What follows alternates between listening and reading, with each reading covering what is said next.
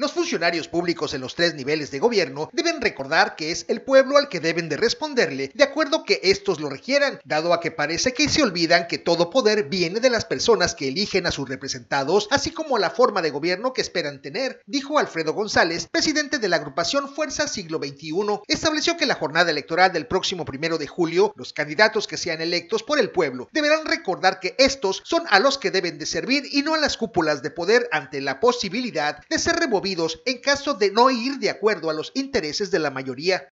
Todo poder público dimana del pueblo, se constituye para beneficio de este. El pueblo tiene todo el tiempo el inalienable derecho de alterar o modificar su forma de gobierno. Yo creo que esto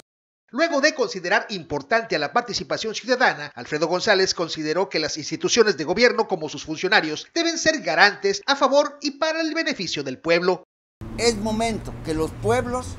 no nada más de, Benito Juárez, sino del el Estado y del país, hablen,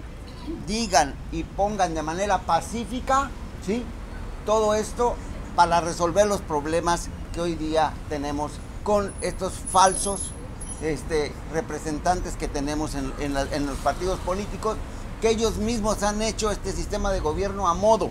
Con imágenes de Giovanni Tamayo informó para Notivisión Héctor Belló.